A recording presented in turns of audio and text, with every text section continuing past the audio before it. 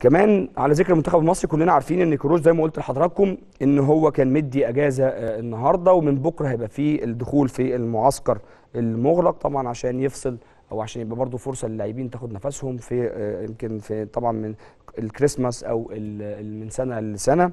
فمن بكرة هنبدأ ال- الاستعداد طبعا ال- الدقيق أو الاستعداد المغلق زي ما نقدر نسميه أو المعسكر. كمان زي ما قلت لحضراتكم مع انضمام المحترفين تبقى الأمور آه، مختلفة خاصة إن هيبقى فيه كمان أو منتشر في العالم دلوقتي موجة اللي هي متحور كورونا اللي هو اسمه أوميكرون. فده كمان هيبقى في نوع من القلق. أنت ما عندكش استعداد تخسر أي إن شاء الله لاعب من لاعبتنا. إن شاء الله رب نحافظ عليهم ودايما يكونوا محطوطين كده في كبسولة ويمكن إحنا نجحنا في ده قبل كده كذا آه، مرة قبل ما نسافر للكاميرون يوم الجمعة زي ما قلت لحضراتكم.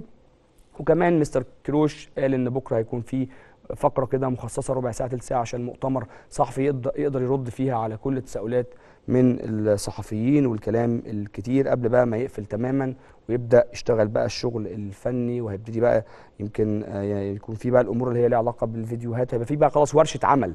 زي ما بيقولوا دايما الاستعداد لبطولة أفريقيا دي بتبقى محتاجة سيناريوهات كتيرة. أول مرة بقى اللاعبين بالقاعدة الكبيرة بقى لنا فترة آه، ما شافوش بقى له فترة ما شافش اللعيبة المحترفين دي كلها برضو من الأمور إن شاء الله إنها آه، تساعده مع كمان وصول آه، لاعبتنا المحترفين. المؤتمر هيكون الساعة عشرة ونص صباحا بأحد الفنادق في التجمع الخامس. وزي ما قلت لكم هيبقى الربع ساعة الأولى قبل التدريب هتكون فيها المؤتمر الصحفي. إن شاء الله أربعة ونص هيكون ميعاد التمرين على الملعب الرئيسي لإستاد القاهرة.